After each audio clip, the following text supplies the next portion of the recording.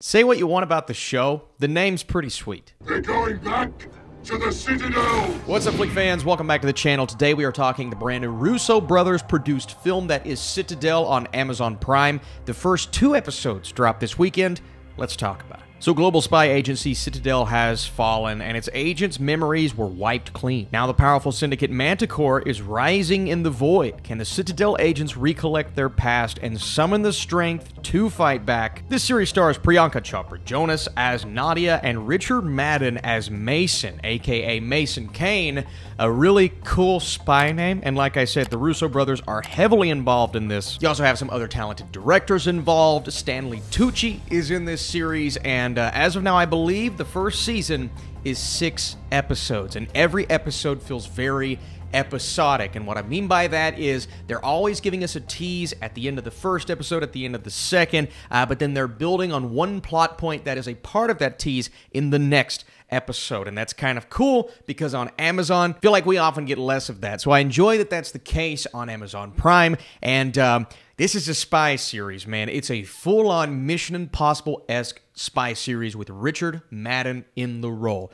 And that's where I'm going to start with the cast because I think that's one of the best aspects of this series. That's one of the biggest positives for me is Madden's really good, man. You expect him to work. But the summary tells us that part of this plot is the fact that certain agents don't necessarily remember where they come from. And that's part of his character. That's part of the charm. He's kind of getting back that memory, but he's also remembering how to be Mason. Kane, when he's starting to recollect that memory, Stanley Tucci's character in Bernard is kind of telling him, "Hey, let's let's try not to be as big of a dick as you were the first time." I don't know that I believe anyone's 100% a dick, man. Priyanka's character in Nadia is also very interesting, but she's mysterious. We don't entirely know her role. We see that sequence at the beginning that's on a train. We'll talk about the really cool aspects of that here in just a second, uh, but we're kind of learning about her. But the more we learn, it feels like the less we actually know because is this who this character actually is. It's a spy series. I feel like I could keep saying that, but uh, you know, I think of the Mission Impossible series. I think of James Bond and certain characters. We think we know who they are until we find out that well, we actually didn't know to start with. And I have only seen the first three episodes. That's the only part of this series that Amazon Prime sent out to critics. So I saw those first three, and I said I, there, there's something to her. I don't even fully know yet, but there's something to her that I'm truly fascinated in. And I think the same goes with Stanley Tucci. You think you know his role.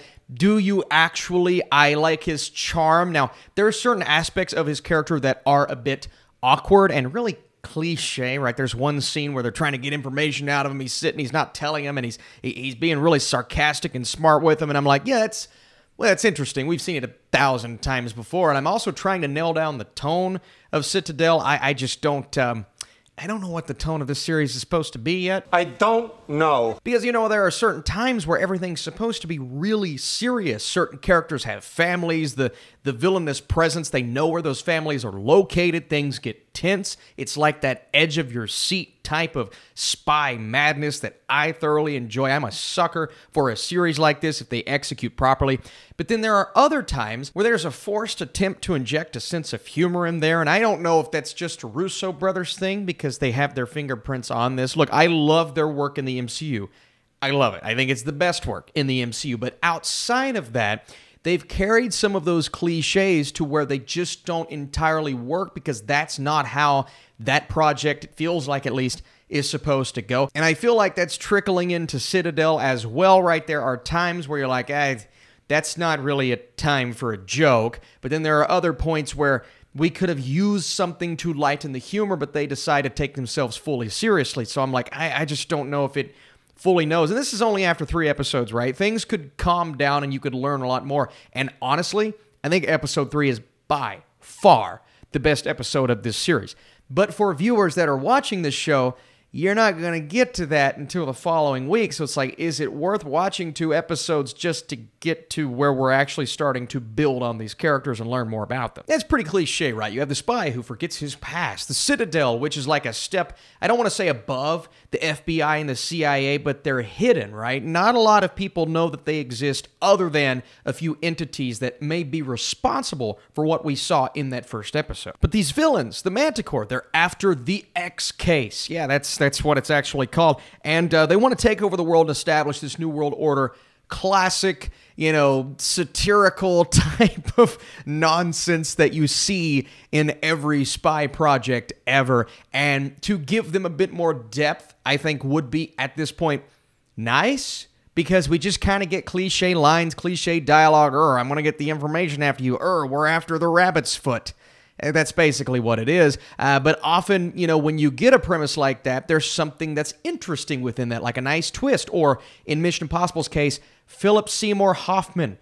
There's no Philip Seymour Hoffman in this show. No interesting twist on a villain. No uh, really incredible performance on that side of the fence. It's just not really all that interesting after three episodes. The fight sequences are cool, right? The sequence on the train, it reminded me of Bullet Train last year, and there are certain moments within the choreography where I'm kind of feeling John Wick or I'm kind of feeling uh, the Russo brothers touch, even though I don't think they directed any of these episodes, but I think of something like The Winter Soldier.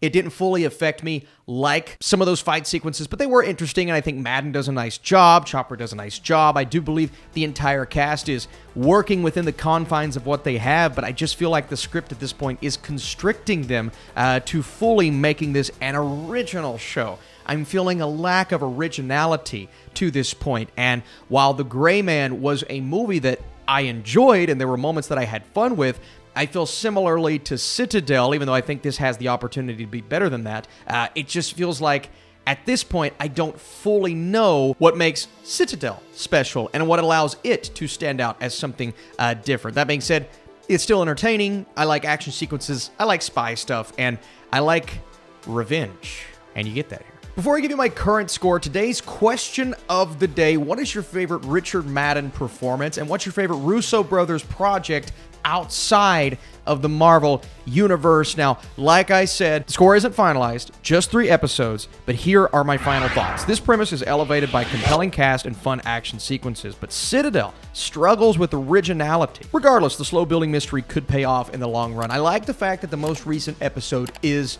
the best, but you may have to give it two to three episodes before you know if this show is for you or not. At least that's how I felt but there is promise. Let's see what happens. And uh, one more question Should I come back and review the show after all the episodes are out? Thanks so much for watching. Later on, Peter Pan and Wendy, and I'm going to see Guardians of the Galaxy 3 tonight.